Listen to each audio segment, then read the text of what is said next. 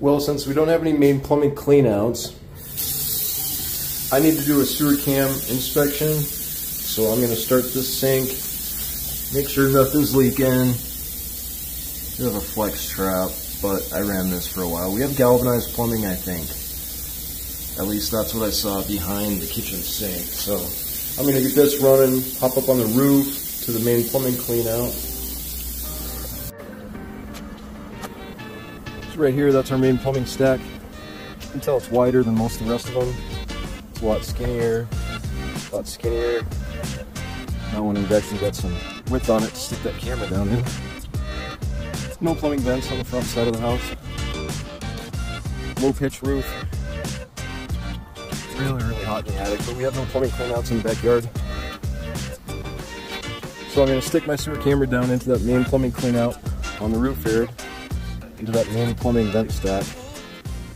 I'm to see how far I can get down in there.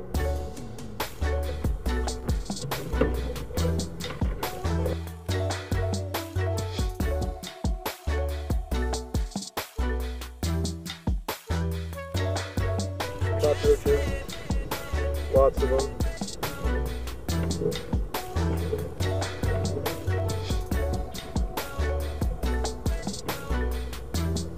Yeah, looks like it's a lot of pitting.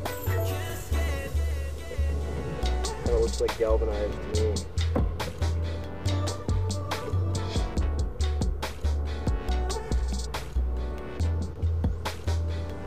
That's where another drain hooks up to it. And that's where our hallway sink is going to go into the drain system. Let's see if we can't follow this out to the street.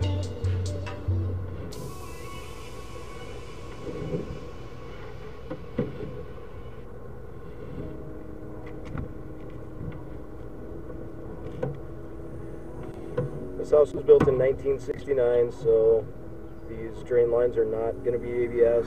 It's actually a collapsed pipe right there. You can see how that looks oblong. It's about 20 feet.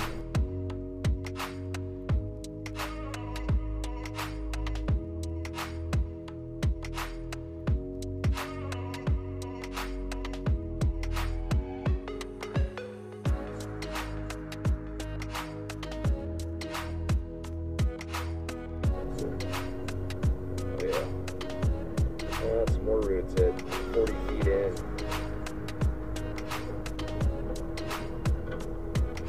Pipe actually looks like it's collapsed right at 40 feet.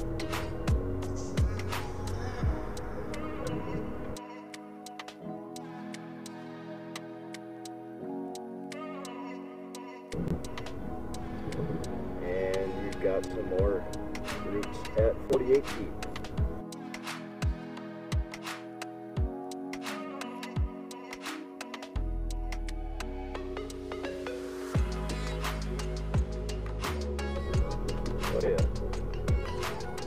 Bunch of roots growing on the side of the pipe there at 56 feet.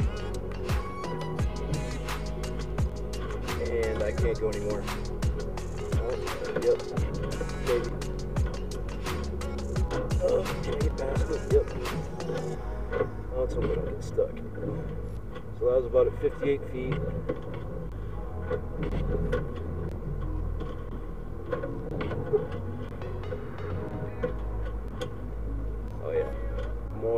Problems at 63 feet.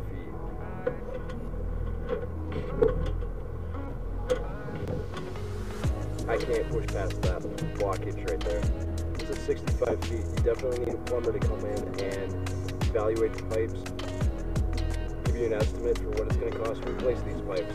Some of them collapsed, some of them are broken. You should get an estimate on what it's going to cost you or the seller to replace or repair these pipes. And don't forget to turn off the water.